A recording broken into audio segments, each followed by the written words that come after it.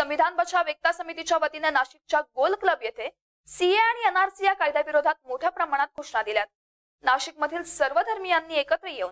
CA आणि NRC या कायद्याविरोधात निषेध केलाय नासिक में भी सादिक बाग बनाए हैं और हम चाहते हैं कि हमारी आवाज़ सरकार सुने। जिस तरह तीन तलाक के मसले पर उन्होंने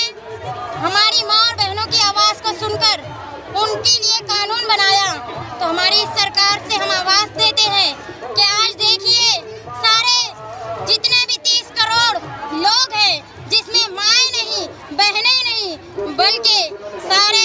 हमारे जो काम के मर्द हैं, बूढ़े हैं, खवातीन हैं, बच्चे हैं, वो सब इस सरकार से गुहार लगाना चाहती है कि वो हमारी भी इस बात को सुने और इस सी और एनआरपी और एनआरसी को हमारे तक ना लाए। उनसे गुजारिश